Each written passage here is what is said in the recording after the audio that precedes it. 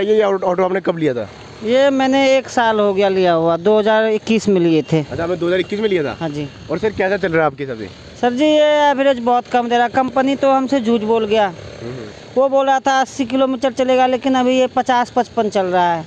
Okay और एक swap मेरा 120 30 रुपए का पड़ रहा है। कोई पड़ता नहीं खा रहा है। ओके और सर हमें ये बताइए कि आपने इस आपने जब ये लिया था उस टाइम आपको क्या बोला गया था? मतलब हमको बोला गया था कि ये अस्सी नब्बे का एवरेज देगा आप ले लीजिए। हमने चालीस हज़ार डाउन पेमेंट किया था। अच्छा। और तीन लाख का पड़ गया था। अच्छा। लेकिन कोई फ़ायदा नहीं हो रहा है। अच्छा। और सुनाइए फिर क्या कहते बाकी आपका क्या कहते चलाने में कोई दिक्कत तो नहीं आ रही? है वो चलाने में ठीक ही है? चलाने में तो ठीक है। इसी स्पीड की नहीं आती है ज़्यादा से ज़्यादा? बस इस- स्पीड इसकी पैंतालीस चालीस आ रही है। पैंतालीस चालीस की स्पीड हाँ। है। हाँ। और ये माइलेज की नहीं दे रहा है आपको? माइलेज तो पचपन पचास दे रहे हैं। पचपन पचास की माइलेज दे रहा है हाँ। आपको और आपके पर चार्ज का खर्चा कितना आता है? 130 से 140 रुपए पड़ जाता है एक स्वैप का। एक स्वैप का? हाँ। तो फिर आपको कितने स्वैप कराने पड़ते हैं जब आप बड़े दूर के लिए जाते हो? तो ये तो चार पाँच स्वैप करवाना पड़ जाते हैं चार पाँच सौ का।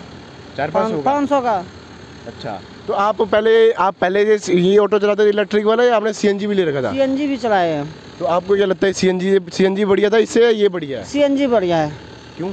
क्योंकि सीएनजी एक बार पवाओ गैस उसमें वो भी तीन सौ का पवाते थे दिन से रात हो जाता था। इसमें हर बार चार बार पाँच बार स्वैप करवाने के लिए आना पड़ता है। चार पाँच बार? हाँ वो भी इसका स्टेशन चंडीगढ़ में ही है और पंचकूला हरियाणा मोहाली में कहीं पे नहीं है। तो आपको मतलब बार बार चंडीगढ़ आके चार्ज कराना पड़ता है है। पड़ता है। अच्छा। तो आपको मतलब इसमें थोड़ा मतलब अजीब सा लग रहा है। अजीब सा लग रहा है हाँ जी। ओके। तो आपका सीएनजी से इलेक्ट्रिक ऑटो में आए थे इसी पीछे कहानी क्या थी? मतलब आपने ये यही क्यों चुना? नहीं तो हमको बोला गया ये एवरेजदार है तो मैंने ये ले लिया। ये पर सी एन जी वैसे सी एन जी सही है इससे बढ़िया। अच्छा इसमें वैसे कितने बंदे बिठाते हो आप? इसमें तो तीन ही बैठते हैं तो इसमें सवारी भी पकड़ नहीं है। सवारी पकड़ नहीं है? नहीं। अच्छा और इसमें कितने सामान कितने भारी सामान ले जाते हैं? सामान तो अभी तक लेने गए हैं। अभी तक कोई सामान नहीं नहीं बस सवारी तीन चार बैठते हैं बस। अच्छा। और क्या कहते हैं आपको जब ये खराब हो जाता है जैसे बैटरी खराब होती है कुछ भी है तो कितना खर्चा पड़ता है आपको? खर्चा तो वो हज़ार पाँच सौ वो कंपनी करते हैं फ्री में। फ्री में पड़ती है सारा? हाँ। मतलब कब तक फ्री करेगी वो? जैसे मान लो कुछ जब जब तक किस्तें आए तब तक। और इसके सर्विस चार्जेस क्या होते हैं? सर्विस चार्जेस सर जी दो तीन सौ रुपये लगते हैं तीन सौ रुपया। उसमें ये पूरा धो धो के देते हैं मतलब? धो धो के नहीं वो सिर्फ़ चक्के का ग्रीसिंग वगैरह करते हैं हो गया उतना सही। अच्छा। और फिर आपको मतलब इसमें अब बेसिकली आपको डिसएडवांटेज क्या लग रहे हैं? मतलब क्या क्या मुश्किलें आ रही हैं आपको? मेन मेन आप, आप पूरा अच्छी तरह बताइए डिटेल में क्या लगा सबसे मुश्किल है इसका यही है सवा ये छोटी गाड़ी है। इसमें सवारी पकड़ कम है और दूसरी इसकी एवरेज सबसे ज़्यादा एवरेज वाली बात पंगा है।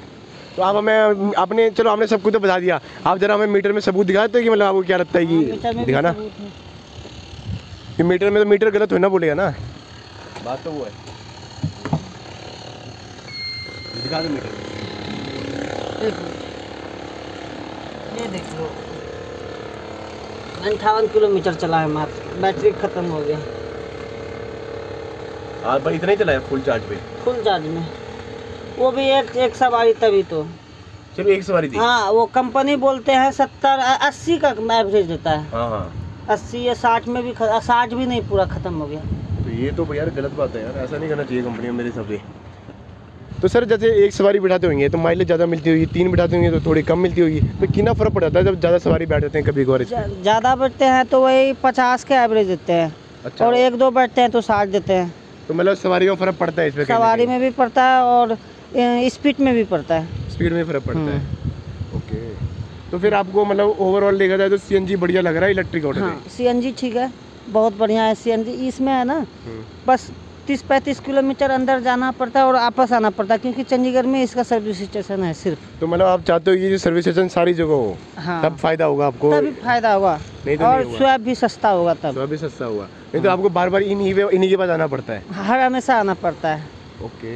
तो सर अगर आपको बोला जाए कि आपको किसी भाई या अपने दोस्त को कि जो मतलब बताना हो कि कौन सा ऑटो खरीदे तो आप उसे ये वाला ऑटो रेकमेंड करो इलेक्ट्रिक वाला कि इलेक्ट्रिक वाला लो।